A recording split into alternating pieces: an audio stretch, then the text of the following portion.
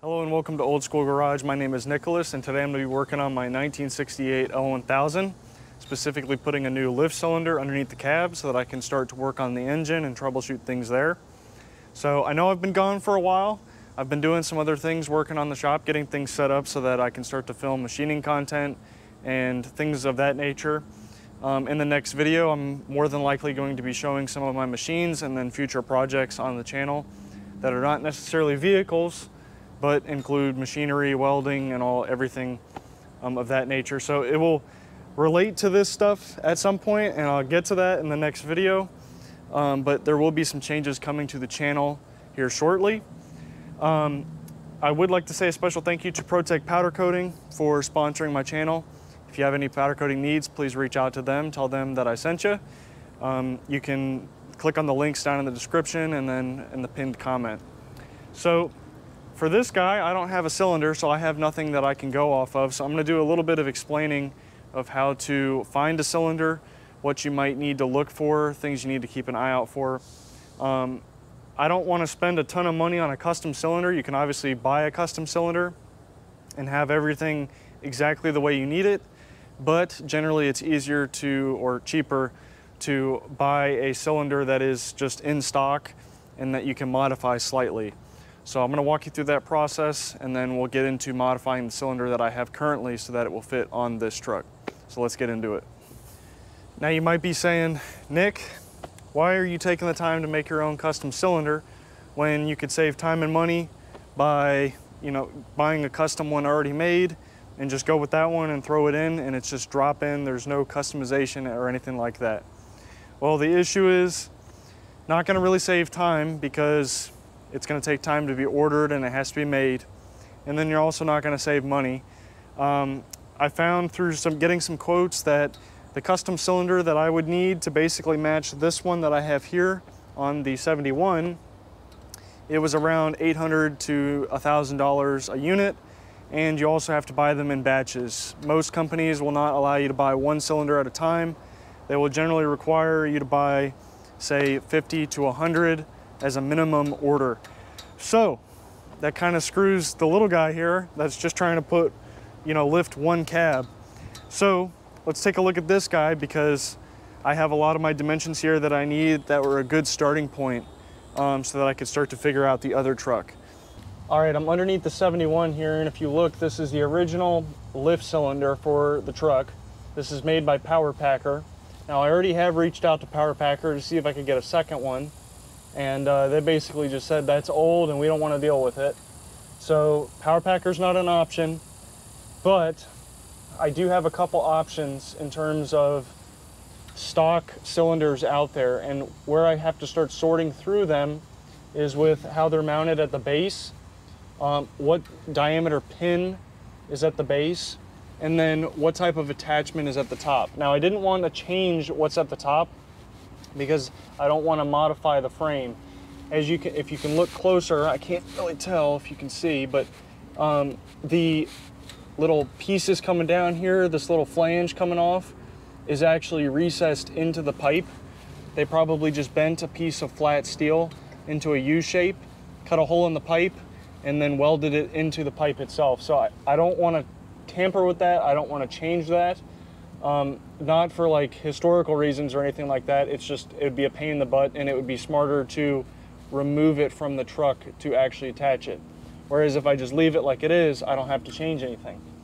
So this style uh, base mount, which is a pin eye through the body, this is through the body of the cylinder. Um, this option is really more of a custom thing. You can't truly get this type of a cylinder with this base mount without going more of a custom option, especially with this body length and stroke. So I had to go with a cross tube design. Now there's quite a few designs out there. You can look, look them up on Google. There's a couple lists out there. Um, and you can really just pick what you need to, you know, help you in your situation. Um, I thought about going with a weld tang, but a weld tang is not wide enough at the base and would not be strong enough, or at least I felt it wouldn't be strong enough. Now, if you look at the top, you can see there's a pin eye. It's drilled through the pin as well. It's just a pin eye, just drilled through the pin. And that is very simple because I can simply cut whatever attachment is on the hydraulic cylinder as a stock cylinder. I can cut that off and then grind it down or mill it down to fit inside the specific flange that is you know already built. So it's it's kind of a difficult process to hunt through the catalogs and try and find everything. But your main thing you're going to want to find is your on center measurement here and then what your body length will be. Whatever your body length will be is generally what's going to decide what your um, your your stroke will be. So you won't have too many options with that, but more stroke the better because the farther the, the cab will tilt forward. Because the restriction on this cab tilting forward is not by the safety cable that's tethered to the frame and then to the frame that underneath the aluminum cab, but it's actually the hydraulic cylinder that limits it from going any further. So you could make it to where it's reliant on the safety cable, but I wouldn't recommend that. So what I came up with was this guy. Now you can see it's a little bit bigger and it's not going on this truck. So my body length can be a little bit longer and I'll get to that in a second. But it's called an HMW 2016. It's from Hercules Sealing Products. There you go. And it's an inch and a quarter rod as compared to my inch rod on the stock Power Packer. Um, and then the body is a two inch or yeah, it's two or two and a half inch. Doesn't really matter. It's gonna work for my application. It's just a little bit bigger than what's here already. So the base mount is a cross tube design.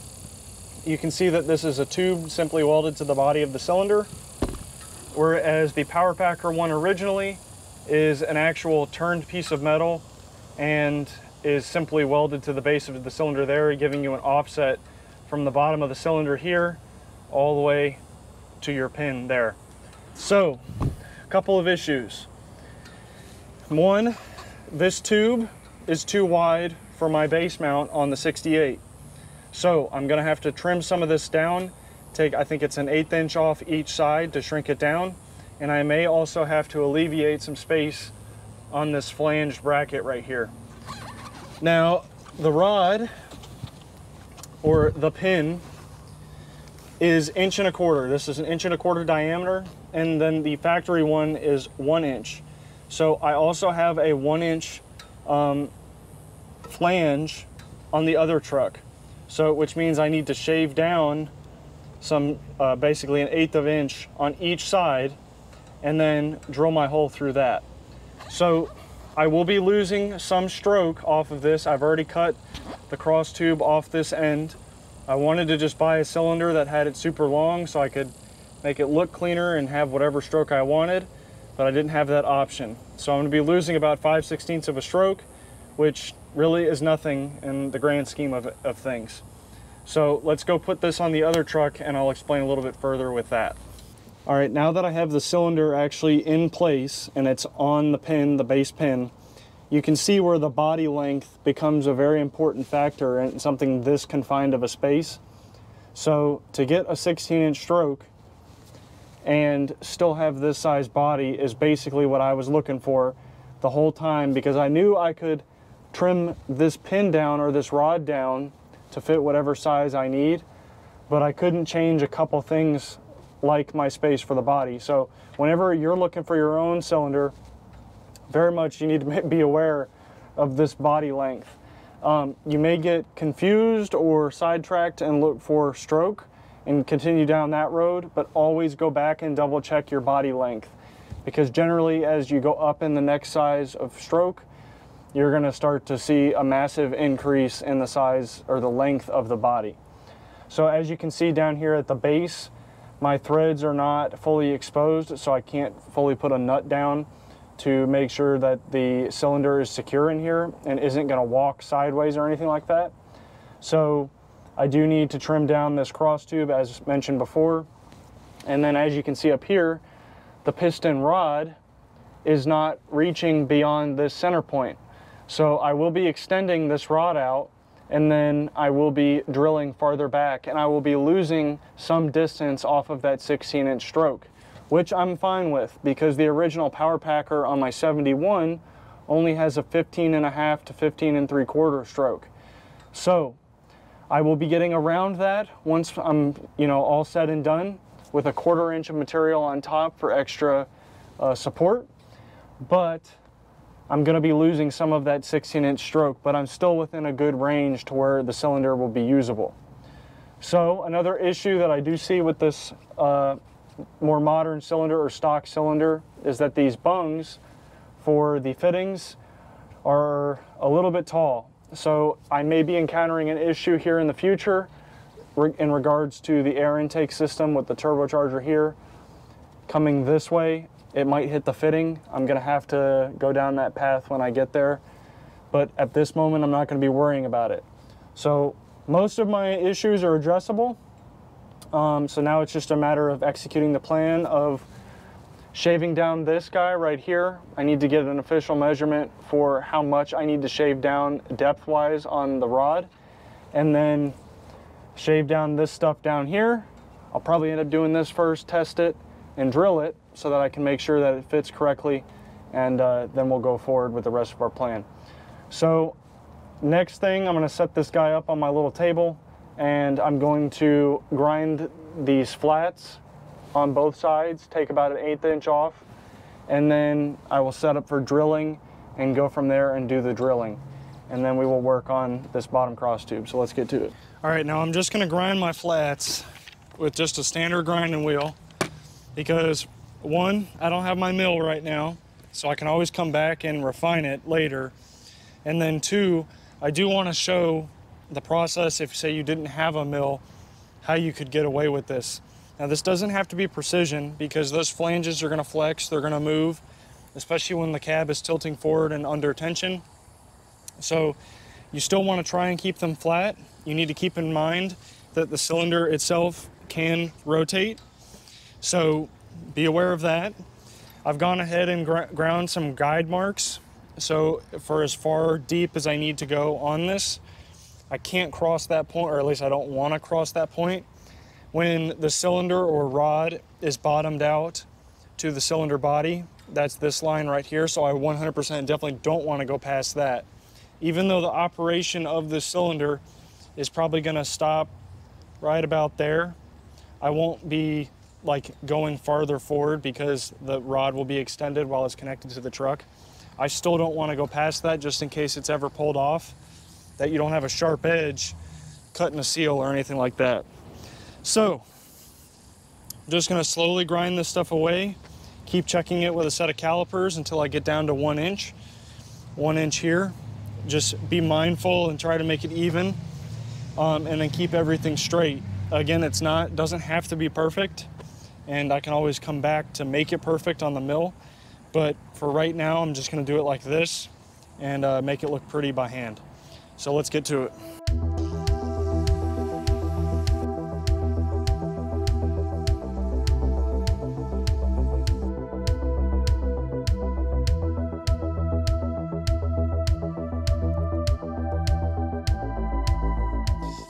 Even though I'm doing this, you know, by hand and it's not with a machine, I'm still double checking. I'm making sure I'm only taking little bits of increments of material off. I don't want to keep or just start taking off massive chunks. Because if I start taking massive chunks off, I'm probably gonna overshoot my measurement. So right now we're still pretty even.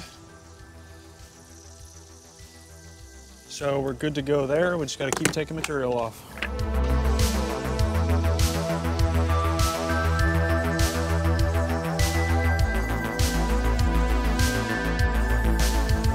Now, as I'm closing in on my final dimension, I'm gonna take a measurement of my tall side, making sure I'm not measuring into the shoulder. And I am almost at an eighth of an inch. So I need to keep tracking that depth on both sides. If I feel like one is more deep or deeper in than the other, I need to keep track of that because if I let one side get out of hand, then I'm gonna start to lose my dimensions here and then I could go deeper on one side and then the cylinder will be misaligned. So again, just taking your time, slowly working it away and you'll eventually get it.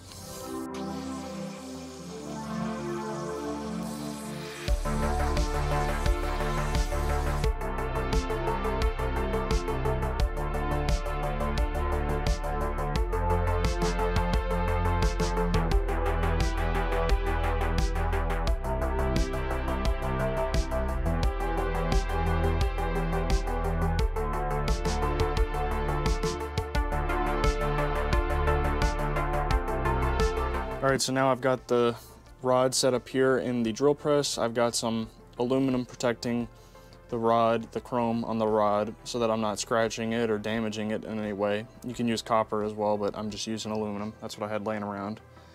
So I've got it spotted in right now. We're good to go. Um, I'm gonna drill a pilot hole and then my final 5 8 hole um, while supporting the other end of my, the rod with my hand. If this was on a mill, you could just use machinist jacks or something like that. But I'm just using a cheap drill press and a cheap vise here. So everything's bolted down. We should be good to go. So let's get to drilling and uh, we'll see how this goes. I'm gonna use some cutting oil, but nothing crazy, just to keep the bit lubricated. So let's get to it.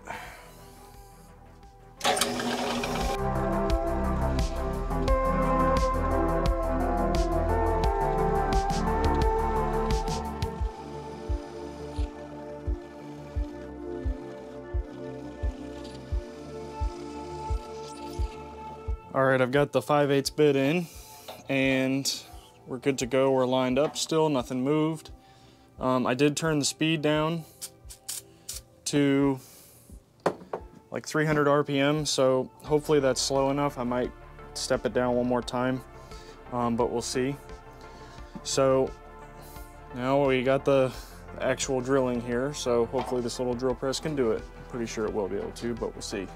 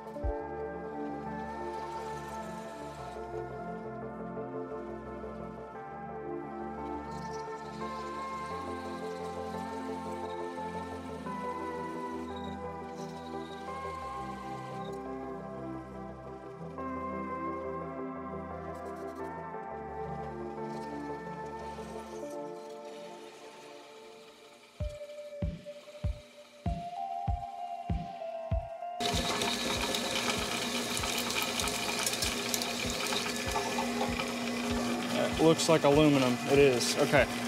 All right, so we're good. We're good. All the way through.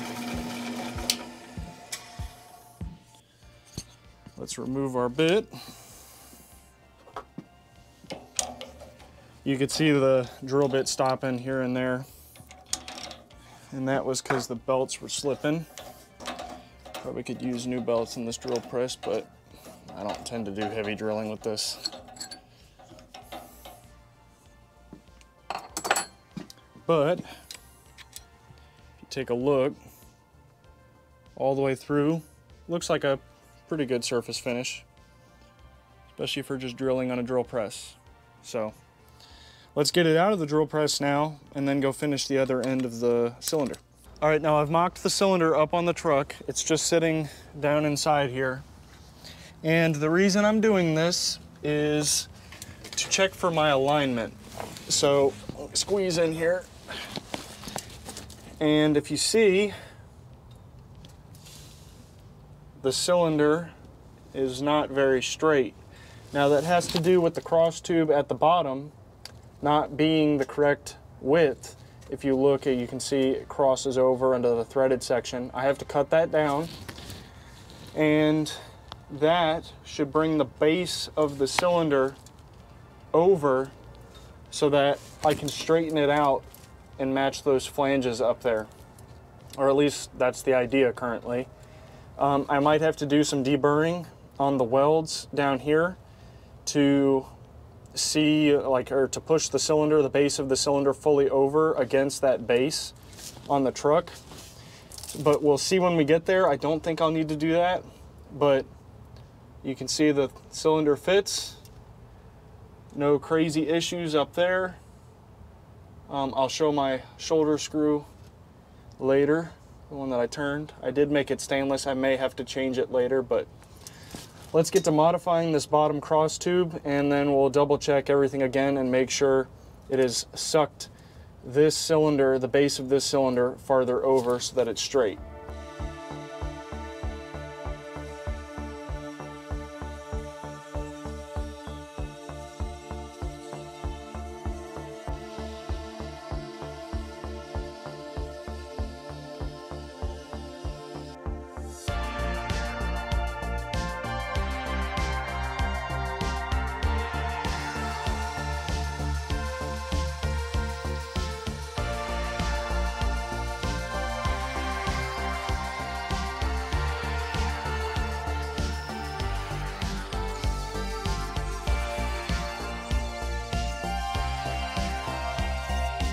All right, so I finished grinding on the cylinder and I ended up having to take more material off this guy right here just so that it will sit more flush against the bracket. And then I did some grinding on the bracket as well down here. I didn't have to actually clearance any of these gussets, but I did end up having to clearance some of the weld that was left. We're good to go now the, the cylinder is straight and I'll show that in a second but let me get it installed. Actually I gotta show my shoulder bolt before I end up putting it on. So this guy just turned out of like a three quarter inch stainless bolt. I'm I think the stainless is fine. We'll end up seeing in the future depending on how it wears but we should be good for the time being um, I don't think we'll have any issues. So let's get to installing the cylinder and then we'll check it for square. All right, let's get this guy on here.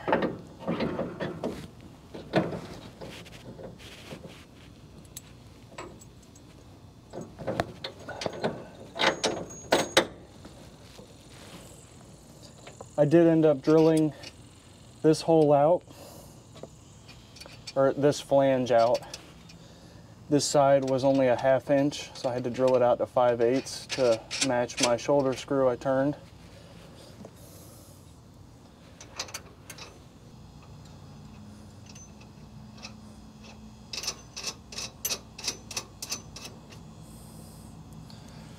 All right, let me just snug it by hand.